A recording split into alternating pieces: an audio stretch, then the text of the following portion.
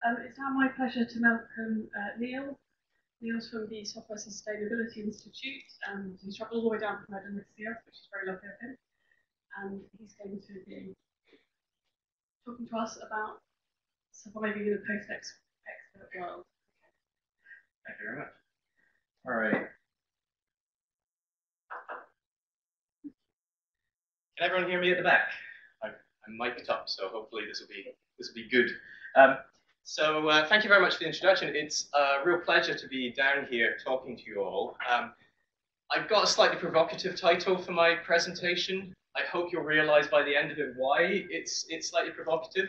But before I, I launch into the talk, one of the things I wanted to do was get a sense of who's in the room. So um, who here considers that they do research? Okay. Um, who, who would say that they provide support to researchers? Okay. Um, who is someone who develops software? Okay. And who here would consider themselves an expert? Interesting. Okay. So, um, so this talk is for you. Um, so one of the things that um, I like to do is kind of understand where we are in the world as researchers. And as almost all of you are doing research just now, I think it's a slightly scary place to be in. Um, any economists in the room? No. Oh, yes. Okay. So you, you might recognize this quote here. so this is the this is lovely, uh, lovely Michael Gove um, saying that people in this country have had enough of experts. And by experts, he's talking about economists, and as you were one of the people who put up your hand um, for both uh, being an economist and being an expert, he's talking about you. So, um, what does this really mean? And what does this mean for us as researchers? And what does this mean for a research software workshop? Um, so, one of the things as a researcher that I like to do is try and examine the evidence. So, let's see what the evidence is to back up this particular kind of statement. Now, the great thing is that we have wonderful research organizations of different types um, all across the, um, the UK who are collecting data. And what we can do is we can look at that data and see what it says. So one of the things we could look at is the Ipsos Mori Veracity Index, which is something that's been going on since the mid-80s, which simply surveys a representative population of people every year to find out what they put their trust in. And as you can see, um, people really put their trust in things like doctors, teachers. Um, for purposes of, of uh, this talk, scientists also encompasses researchers and hairdressers. So basically, hairdressers are pretty much the uh, one of the, the most trusted professions. And you know, this is all good. But but the data says that uh, researchers are well trusted by the public. So you know, how how does this kind of um, uh, compare with the statement we've heard from Michael Gove. Particularly when, when you look at the data again and look at the five least trusted professions, um, you end up with government ministers and politicians generally being at the bottom of that pile. So, so what's going on here? You know, we've got we've got a statement here that says, you know, people don't believe in experts anymore, and then you've got another, uh, you've got the data saying, well, yes, they do. Um, so what, what's going on here? Um, one of the problems here is around perception. So again, um, we look at another piece of research. National Center for uh, Social Research is uh, a, a, group that looks at trust in other bodies. And one of the things here is public confidence in official statistics. So the Office of National Statistics collects a, uh, a large amount of data that's then used by other organizations. And one of the things that their research showed is that the problem is not that the public doesn't trust us, uh, sorry, doesn't uh, trust the Office for National Statistics to produce good statistics. So two thirds of the people surveyed there uh, think that the ONS produces reliable statistics. It's how they're then used and represented. So only 28% agreed that the government presents these figures honestly, and only 19% agreed that newspapers present these figures um, honestly. So the problem is one of perception, of how the data is being used. And you can see this in many different areas of research. Um, most famously climate change, where you can see the same sets of data being skewed in many different ways to support many different arguments. Um, but you can see it in almost every different uh, area of research. So, there's the problem. To become an expert is more than just doing the good work. To become an expert, you need to uh, have people trust in your expertise because they believe in your reputation. And so, as a researcher, or someone who does research, or someone who supports researchers, the thing that's really important to understand is that your reputation is pretty much everything.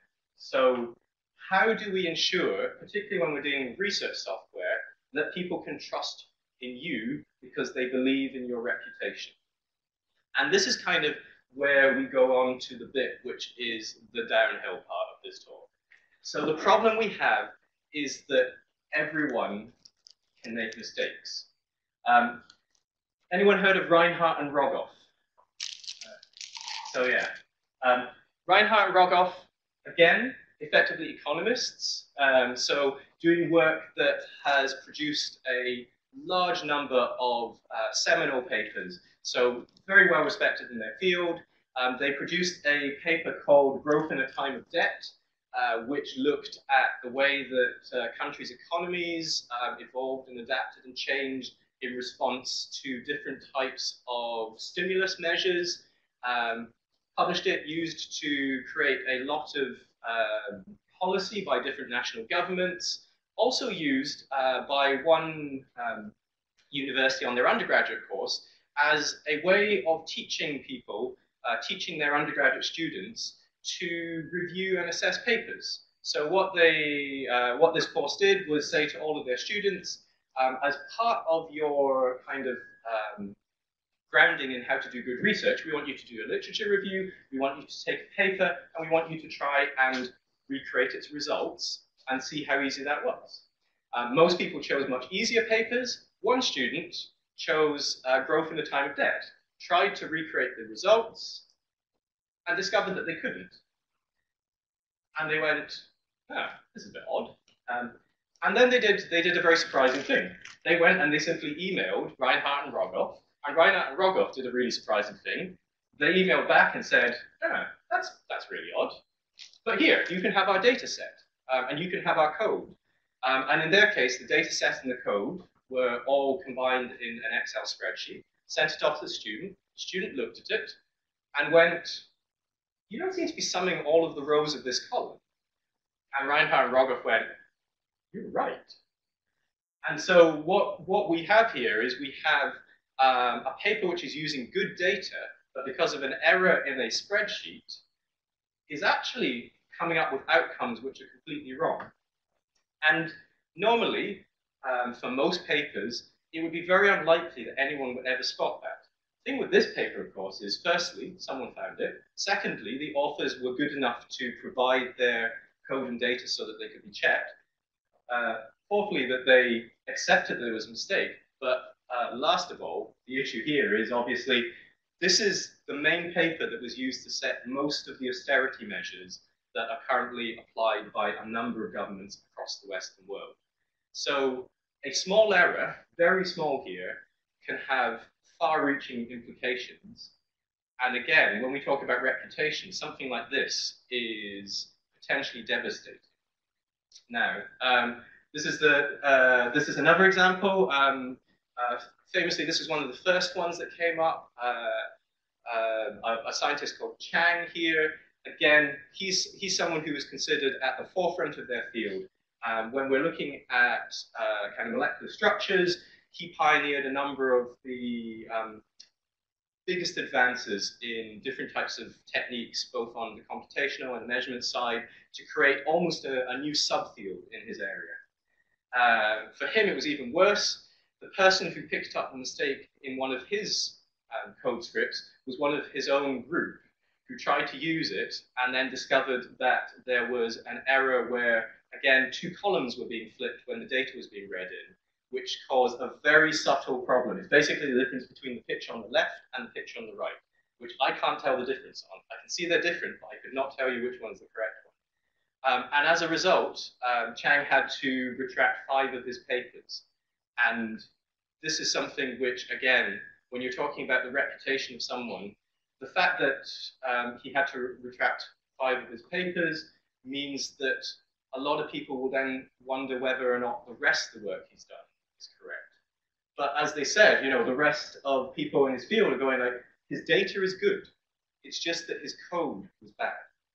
So you've got to be really careful here because this can happen to lots of different people. This is the example now where I ask, is there anyone from zoology from the University of Cambridge here? You may know this example then. Um, this is an example which is kind of, I, am going to use it as a, a, case of really good practice. It's a very recent example. Um, Llorente here is uh, someone in the uh, Department of Zoology in Cambridge who was the lead author on a paper that went into science around um, the, uh, basically around population migration from Africa outwards into Europe. Um, here is an example of a worldwide consortium of many different universities um, who are all working together to bring together a number of um, new techniques. So a new technique to um, basically extract samples from very old uh, bone matter, um, a new technique for uh, basically analyzing these samples and cleaning them up, all that allows uh, this consortium to take this, this data and combine it with what we already know about populations to give us new knowledge around how people uh, migrated um, through history. And the big outcome of this, which is reported across almost all of the, uh, the scientific publications and the popular science press, was that um, as a result of doing all of this work with these new samples, uh, we didn't just see that there was a population migration from Africa out into Europe, but there was also a later migration from Europe back into Africa, which obviously is um, a spectacular new result. Except, if you've read the text at the bottom, it's not a new result. It's an error in one of the bioinformatics pipelines. Basically, what had happened was uh, one of the cleaning steps they did threw out more values than it should have because it wasn't expecting to get values in the range that it was getting because there was new data coming in from a new technique. And as a result, it threw off every uh, step after that. So one very small um, uh, error in one part of the pipeline caused a completely different set of outcomes uh, to happen. So how many people are PhD students in this room? Okay, this one's aimed at you then. So, uh, so, so this is this is all good. This is this is an example of a really good thing to happen because um, some other people in the community uh, picked this up. Um, the data is all published openly. The methodology is all published. So other members of the community could take a look and find out exactly where in the pipeline it went wrong. Course, that first author is still a PhD student. And so can you imagine your first big paper, which has hit national press, then having to have a correction um, put in? It's not, the, it's not the easiest way of starting off your career as a researcher. But the good thing is, so this is, this is like six or seven years later than the other examples. It's an example where the community kind of goes, actually, you just made a mistake. You know, you're not, you're not being fraudulent. You just made a mistake. So the question is, how often are these mistakes being made? Uh, so how many people are actually at risk of doing this? And the thing that I, I can now sort of say to people who are starting off PhD careers is don't worry about it because it's everywhere. So these are three very high profile um, cases, but then you've got research that looks into almost every area. So if we look at um, uh, cancer research, when we look at preclinical studies, there's a famous um, uh, paper that tried to recreate 53 of them of what they call the landmark publications, so the things which are considered the cornerstones of this area, and 47 of them could not be reproduced. You look at uh, genetics, Again, um, repeatability of everything that's been published in a certain um, time frame in microgene expression, they couldn't repeat half of these, 30% because of the software. Um, you think computer science is any better? Um, no, computer science is almost always worse in this case. Uh, of, of, the 600 or so papers that were published in ACM journals and proceedings, uh, there's basically two, two thirds of them fail for different reasons. Um, so all across all different subjects, we're not doing great. But um, the point is that it's not as bad as the mainstream press um, say it is. So most of the mainstream press have uh, focused on the problems. They're kind of going like, oh, it's terrible. Um, academics write this horrible spaghetti code. Um, uh, basically, it's amazing that anything actually compiles or runs or gives you anything at all. Um, it's not actually that bad. What I like to, uh, to say is there are a lot of problems. Reproducibility is definitely an issue for all of our fields. It's so much better than we were doing 30 years ago, 40 years ago, 50 years ago. So the point here is that was the depressing bit. What can we do to make sure that we're always getting better? Um, and I guess one of the things that we can do is publish and share our data and our code. Um, and there's been a lot again in the mainstream press that's sort of saying uh, you must do this because uh, it's it's absolutely essential for a lot of areas for reproducibility. Um, ben Goldacre, who a lot of you will have heard of, has been one of the people who's been getting um, on at journals to do this for areas where there is uh, a potentially high economic and social impact because what we're talking about here is the ability to treat people um, for, for diseases that may or may not save their lives more efficiently. Um, but I like to think of it as the other way. I, I'm a kind of pragmatist, and I think the reason why you should care about this is not so much because you're doing the right thing for science, but because you're doing the right thing for yourself. Um, so, uh, actually, I'm going to skip forward a little bit. No. Um, so one of the things that we noticed is that um, as well as kind of like this idea of uh, doing reproducibility, sharing your code and data because it helps the community, it also helps yourself. So um, I'm going to go on and give a few more examples about that, um, but I'm going to kind of take a slight segue. So one of the ways of doing this is simply by improving the kind of skills um, you, you have as a researcher. And a few years ago, um, a group of us got together to write this thing called Best Practices for Scientific Computing. Uh, it's a paper that listed evidence-based um, uh, kind of like methods for improving your practices. Uh, so there's a list of practices there. You can't see them. I'm going to suggest you don't even look at them just now. Because one of the things that we discovered when we put this out is that actually um, most researchers can't get up to the level of those practices. Not because you're not um, really good at research, not because you're not really good at coding, but mostly because uh, the sort of infrastructure and support that you might have will not necessarily be there to allow you to do this. Um, in particular, one of the biggest issues that people have is the pressure on their time. So all of these things um, are practices that will make your code development more efficient, but at the cost of upfront time to learn them and start implementing. If you start off with code which is completely fresh, that's brilliant. No one really starts off with code that's completely fresh. You're always inheriting stuff. So actually, this turned out to be really difficult. So we kind of went, all right, not do that. So the paper I will point you to is this one, which is called Good Enough Practices in Scientific Computing. This is the one which I would like you to kind of like uh, take a look at, see how you're doing, and share it with all of your friends. Um, because this is the one which I hope everyone will be able to aspire to. This is the one that says um, it's not like save your data in a repository which has a, um, uh, a plan for how the data will be migrated in the case of the repository closing down. This is the one that says save your data.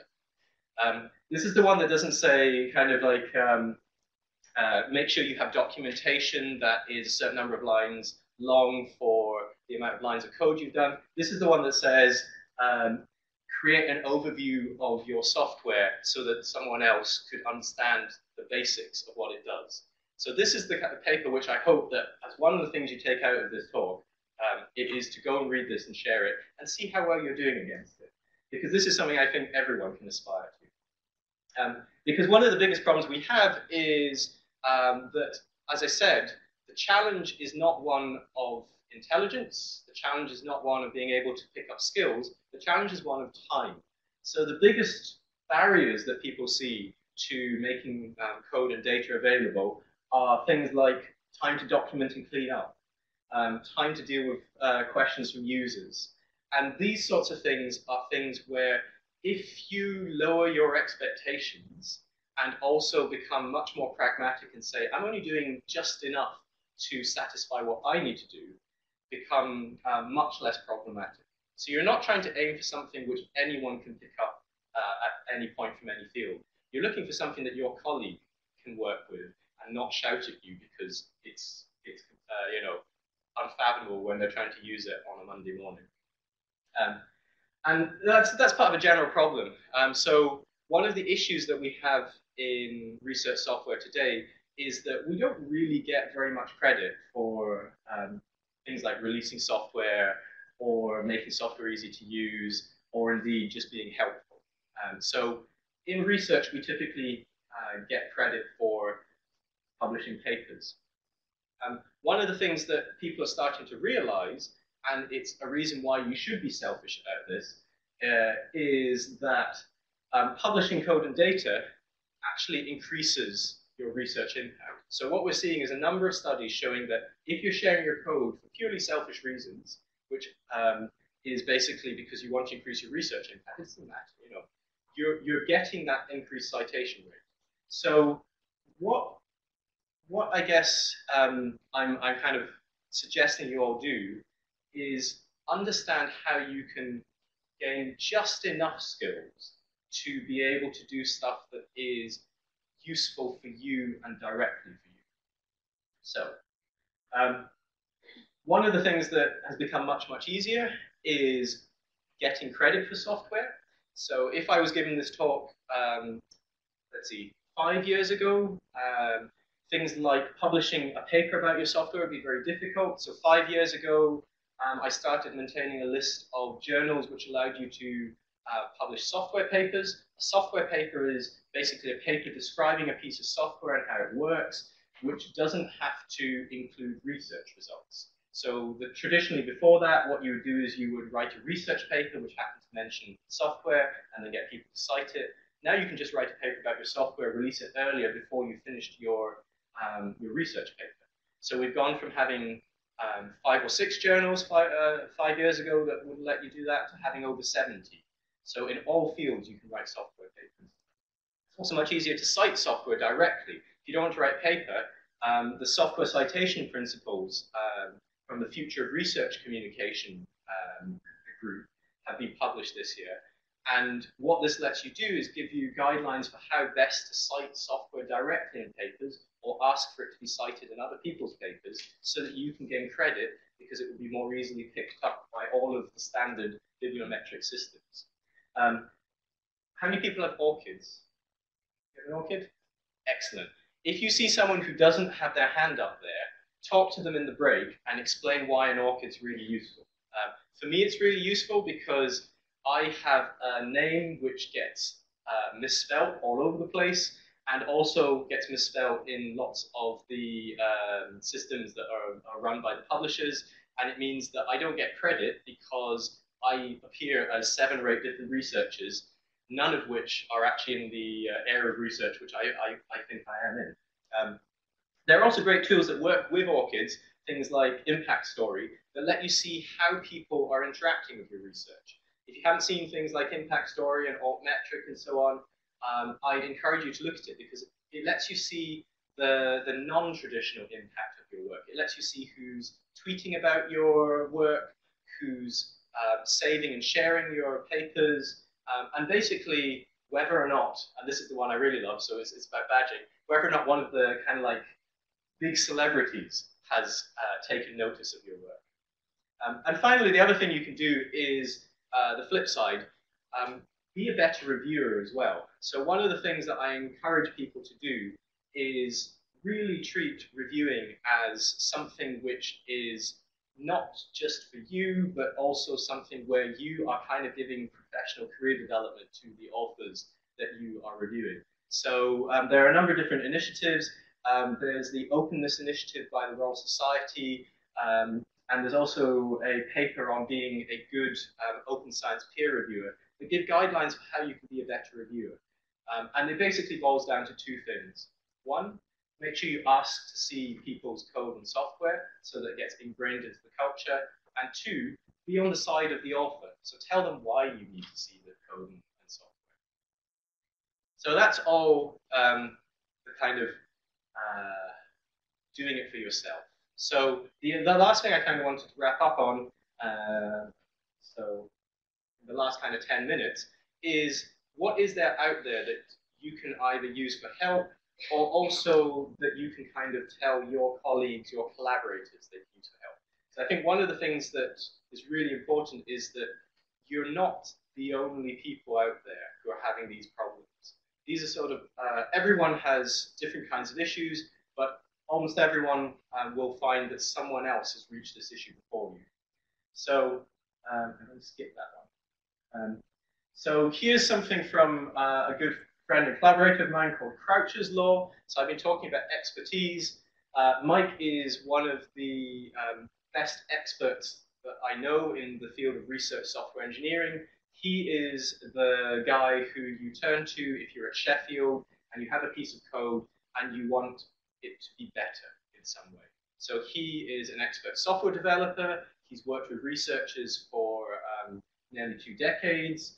Uh, and he can basically improve your software in many different ways um, just by talking to him. Um, I first met him because, uh, weirdly, we run a program um, called the uh, Software Sustainability Institute Fellowship, which gives researchers um, a grant of uh, £3,000 to do stuff that will help research software in their area.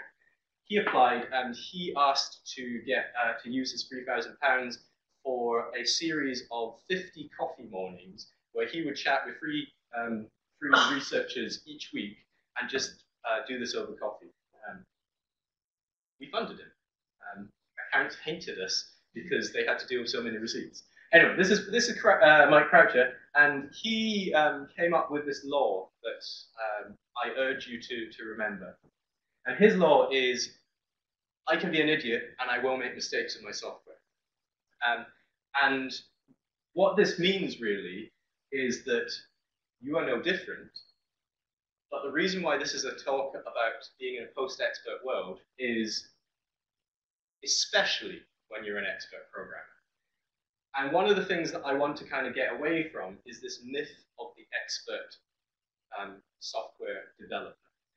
Because a lot of people think of um, expert software developers as these people who spend the night uh, kind of working through to the early hours, uh, hacking away, producing extremely streamlined code, which is absolutely, um, does definitely does not have any security vulnerabilities and is all tested and so on.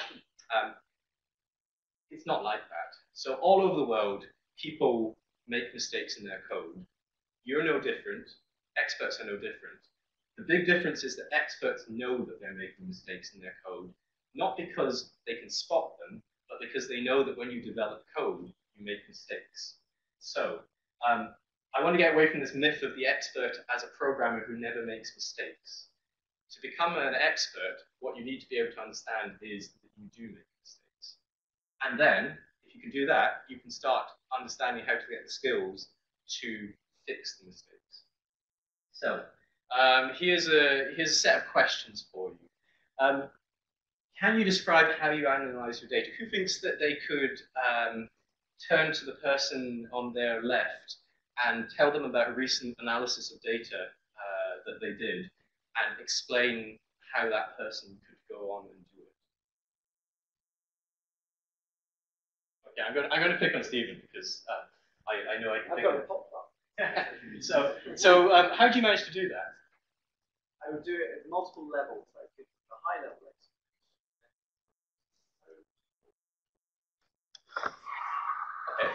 Um, one of the things that uh, I guess I, have got to ask then is um, when you when you kind of uh, explain and um, walk them through the analysis, um, do you use any form of automation? So one of the things that uh, really helps when you're trying to kind of um, describe your analysis is to start using some form of automation. So how many people use some form of automation, whether it's writing a script or using those are your people that you should talk to. The people who've got their hands up, talk to them, if you didn't have your hand up, talk to them about what they do and why they find it useful.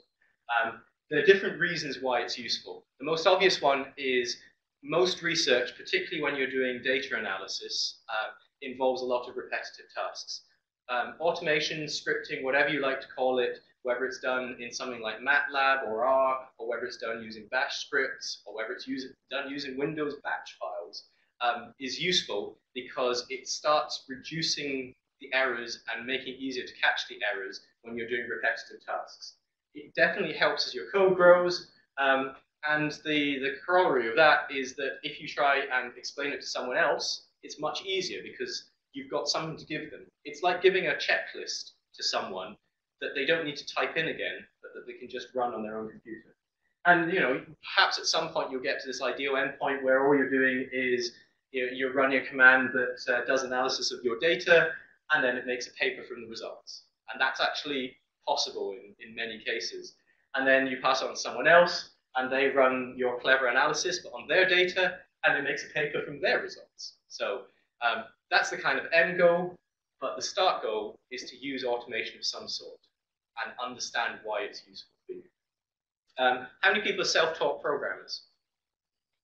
Okay, me too. Um, so one of the one of the things with being a self-taught programmer is that in general, what you end up having is very specialized knowledge. So um, I did a lot of stuff with image processing, so I understand, or at least I did understand, uh, a lot about very specific routines to clean up um, image data. Uh, I am terrible at testing. Um, so one of the things that you should do, um, and actually I encourage this even if you're not a self-taught programmer, is to get training. So keep on getting training. Um, software development is moving on a lot. Uh, there are lots of different tools that are becoming interesting for people to use. Um, in particular, if you if you feel you've got all the basics going, there's a whole set of tools, um, some of which will appear on a slide not too far from here, around uh, making it easier to share your work with other people. Um, and so there are lots of different places you can get training. Uh, how many people have heard of software carpentry and data carpentry? Excellent. I love the fact that when I started doing these talks um, uh, about four years ago, um, maybe one person would put up their hand apart from me um, when we talk about software carpentry. Now everyone um, can, can kind of like go, yeah, I know someone who's been in a software carpentry course. Um, the reason why courses like this are great are that they fill in the gaps. They give you a base foundation. Because you've all heard of them, you can go on to the next step and make sure you use that to go on to other courses on things like um, using Docker um, for uh, reproducibility or for sharing results, um, using things like Jupyter, uh, which is a way of doing um, combinations of code and uh, your paper in the same sort of electronic notebook. So use the skills you've learned on these kind of courses to find the most appropriate training that fills in the gaps in the areas you don't already have the self-taught knowledge. Um, uh, how many people use version control? Excellent. How many of you think you, you use version control such that uh, you can collaborate well with other people? Okay, again, these are your experts. Um, I use I use version control all the time, um, but I have to admit that mostly I use version control to stop me from screwing up when I accidentally delete something I shouldn't have. Um, using version control for collaboration is even better. Um, and the biggest thing I would say is uh, it's not just version control, but there are tools out there uh, that you can use, and most of them are free, and most of them are really good. So whereas uh, 10 years ago you might be really limited and you might go, I'm not using version control because I don't have anyone um, running it. Now use something. Um, use GitHub or GitLab or Bitbucket. Um, see whether your university has set something up. See what your collaborators are using. Um, there are lots of other tools that let you share code. There are lots of tools that let you see the impact of your code. So um, basically, we've gone from five years ago having uh, things which were not really well tailored for researchers to use to a whole ecosystem of infrastructure that can benefit you. Um, this is the best question. Um, this is the question that almost everyone will ask at some point. Um, so uh, what can you do to stop that? The biggest thing, and this is, uh, this is one of the reasons why it's great to run workshops like this, uh, the biggest thing that will help you over the question of why you're, you just can't understand why your code is working is talking it over with someone else. They don't need to be an expert. They don't need to be someone who is a great code developer because, you know, this is talking about the post-expert world. What you should do is find a code buddy of some sort. Um, the, the art of explaining something to someone else is also the art of understanding it for yourself. Um, it's, that, it's that kind of repeating something in a different way. Um, so what I encourage everyone to do is to find someone else that they can talk to about their code and you know do the same for, for that person. Um, one way of doing this, um, which has become very popular, I mentioned Mike Croucher was something called a research software engineer. Uh, there are a lot of research software engineers out there. Um, this is a picture of the Research Software Engineering Conference, the first one that was held in Manchester last September. All of these people are research software engineers. Um, a, a, large proportion of these, I think uh, six or seven are based in this area. So um, find out uh, uh, who your local contact is. You can go to the website at the bottom there, www.rse.ac.uk. There is a page there that says um, local champions, and the local champion is your first contact point for a number of different universities around the UK uh, who has agreed to be the person that any researcher can contact to ask where the most appropriate place for them to get help with their code is. It might be them, it might be a local or informal group that's running at the university. It might be um, some other person who's involved in a larger consortium in their field. But basically, go and find someone that you can just talk to. And then the final one, you know, isn't this going to take a lot of effort? Well, that is basically back to that same question that we asked of um, what can we do here, you know? It's great when you're starting from scratch, but it's actually quite hard if you're uh, working with legacy code. And I think the biggest thing here is to say that you're not alone. So the biggest fear of many researchers that I've spoken to when they're um, when they're kind of trying to deal with problems with software, problems with using or developing research software, is that they think that it's up to them to do the only to do everything, and it's not. Um, so there are different groups. Um, uh, one of the things that we've looked at is finding out um, how many people are affected by this. Um, a lot of people think uh, that, for instance, the number of people who are using software is maybe about 50% of the research population. It's not. It's, it's like up in the 90s. Um, there are a few people who still don't use software of any sort. Um, uh, when we were doing the survey, we had one person uh, in Imperial College in mathematics, in fact, uh, who we got a bounce message back saying, I do not read email, please print out your email and send it to me at this address. Um, oh, fine. You know, he replied. Just had to send a uh, send a, a, a, by paper. So he's one of the no's in that. Um, but but most people use software. The biggest thing here is that most people um, in research now find that their work is impossible without the software they use. So the thing here is that uh, you are definitely not alone. Like 70%, uh, 7 out of 10 people in uh, the research community across pretty much every subject in the UK relies on software. So someone's going to have hit that problem before you. Um, I'm part of the Software Sustainability Institute. One of the things that we do is try and get people together to understand where you have common problems. So um, this isn't going to be an advert for the, for the Institute, but if you have got uh, an idea for something that you think would help your community, um, please do get in touch. We might be able to help you out either with effort or with money or funding and so on. Um, and a lot of the, the sorts of things that we do are to try and bring people together in workshops like this so they can share their problems. Um, so that's kind of a precursor to what we're going to be doing for the rest of the day. Um, I kind of mentioned that you're not alone. I mentioned, uh, and Rosie said that this is part of a series of different workshops. One of the things that's been happening across all of these workshops is that people have been sharing their challenges and working together on their solutions.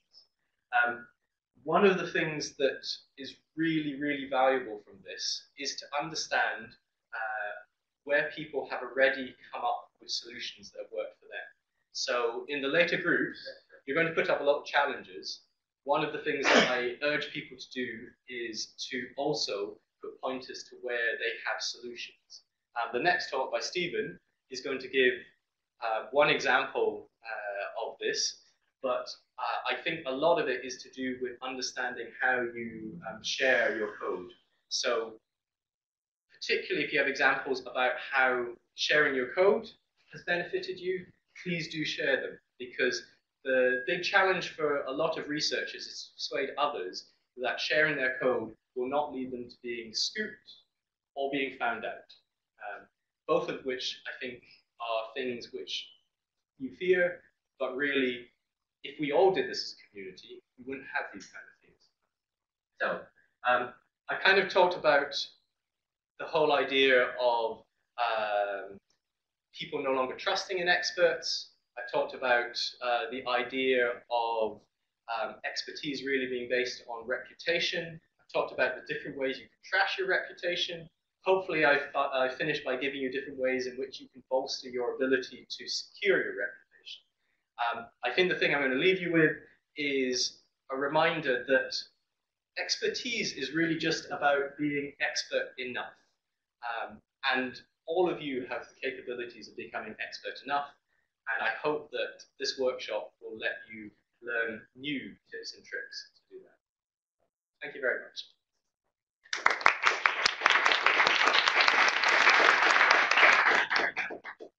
Okay, I think we've got time for one question. Anyone? Question would like to ask you?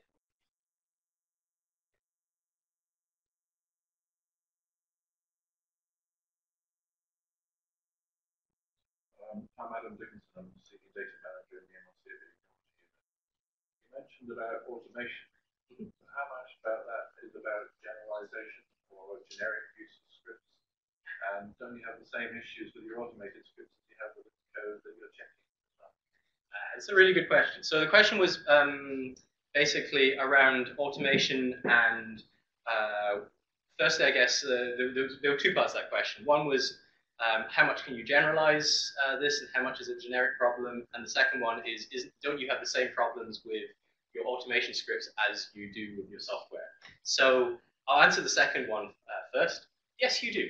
Um, so uh, uh, realistically, automation scripts are just pieces of code themselves, so they suffer from the same issues. Um, but the difference here is one of, uh, of what you're trying to do with software as well. So the reason why you don't create a new piece of software each time you do analysis, although maybe some of you do, um, uh, is because with repeated use, different bugs start um, coming out and can be addressed and fixed and so on. So the same thing with um, automation scripts. If you're able to rerun the same automation scripts, you are able to find the errors in, in that piece of code in exactly the same sort of way. And that's one of the reasons why I'm both kind of I'm sitting on the fence among, uh, about um, whether or not you should make things generic when it comes to automation. Um, uh, one of the things that I kind of side on, and uh, I'm at odds with a lot of my colleagues on this, is that I do not believe in making things generic early on. Um, I'm a big believer for keeping things very specific to the tasks that you have at hand and uh, gradually understanding whether or not you want to make things more generic. So does it solve the problem at hand rather than can we create something that will work not just my problem, but all of these other similar looking problems in other domains? Um, and part of the reason for that is it keeps you more focused uh, and you don't end up with divergence of functionality because actually when you look at things um, from the top level, things that look the same turn out to be very different once you start trying them out. It's better to kind of do it upwards rather than downwards. Um, when it comes to uh, comes to things like automation scripts, I think the the key thing is around where in the workflow they come. So can you automate things in sort of hierarchies? The disadvantage of that, obviously, is that the further down things get hidden under abstraction layers, the less you know about what's going on in different parts of your workflow. So I'm deliberately sitting on the fence here because uh, actually it's very much down to your particular um, uh, problem and workflow. So, yeah, sorry about that. Thank you very much, Neil. Um, so, was a really inspiring talk, and hopefully we'll come back to some of those challenges later on in the day, the focus groups. Could all just take a moment to thank Neil again.